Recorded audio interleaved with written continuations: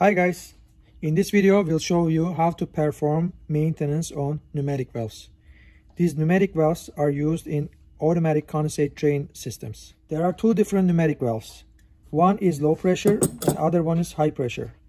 If you look from the hole where it says out, if you are able to see the spring inside, like this one, it's low pressure.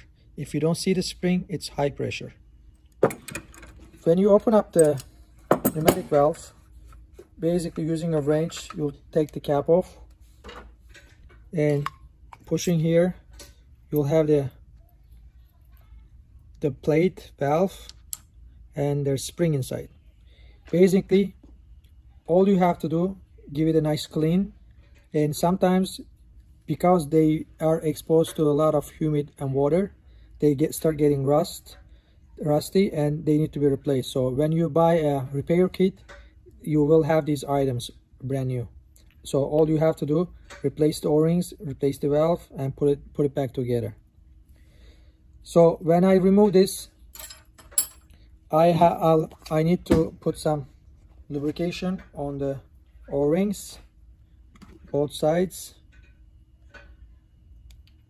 And i'll install this as high pressure so the spring will on the on the top it sits in the groove and the plate has also a groove for spring. I pushed it so it went in all good.